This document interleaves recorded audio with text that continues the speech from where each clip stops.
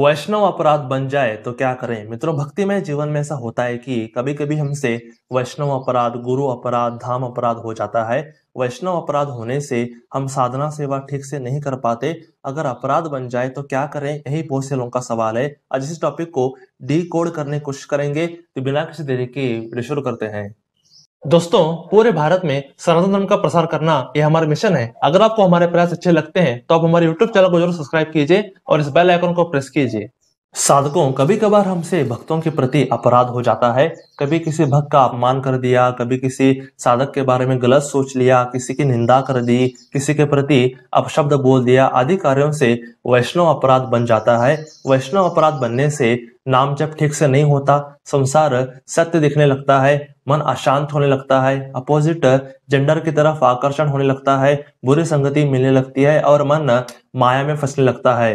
तो वैष्णव अपराध को दूर कैसे किया जाए? साधकों, अगर आपसे वैष्णव अपराध हो गया है तो आप पहले प्रभु के पास जाएँ और उनसे माफ़ी मांगे और क्षमा के लिए प्रार्थना करें। दूसरा कार्य ये है कि आपने जिस व्यक्ति के प्रति अपराध किया है, उनसे जाके माफ़ी मांगे। अगर वो इंसान बहुत दूर रहता है तो आप उन्हें कॉल करके क्षमा की याचना करें। सिर्फ़ व्हाट्सएप पे सॉरी बोलने से काम नहीं चलेगा। मैं तो यही कहूँगा कि आप उनसे प्रत्यक्ष मिले, अपनी ईगो को साइड में करें और सच्चे हृदय से उनसे माफ़ी मांगे। आपके माफ़ी मांगने से वैष्णव अपराध कम होता जाएगा। अगर आपने अहंकार में आकर उनसे माफ़ी नहीं मांगी तो अपराध काफ़ी दिनों तक आपके ऊपर रहेगा और आपको परेशान करेगा। अगर आपने गुरु के प्रति अपराध किया है तो गुरु से मिले और साष्टांग प्रणाम करने के बाद उनसे क्षमा की याचना करें और अपना अपराध कबूल करें। गुरु जी आपको माफ़ कर देंगे। अगर आपने नाम अपराध या धाम अपराध किया है तो आप प्रभु के सामने जाए और उनसे प्रार्थना करते हुए क्षमा की याचना करें।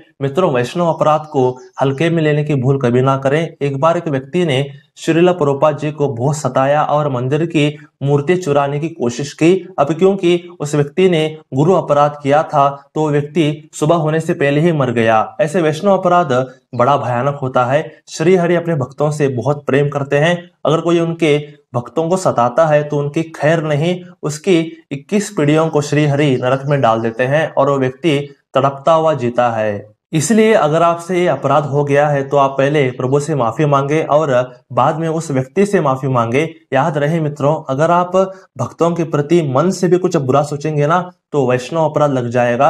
हरे भक्त साधारण नहीं होते, उनकी बहुत बड़ी महिमा होती है। भले ही वो बाहर से साधारण दिखते हो, पर अंदर से असाधारण होते हैं। हरे भक्तों से पंगा ना ले, नहीं तो रास्ते पे तड़पते हुए नज़र आओगे।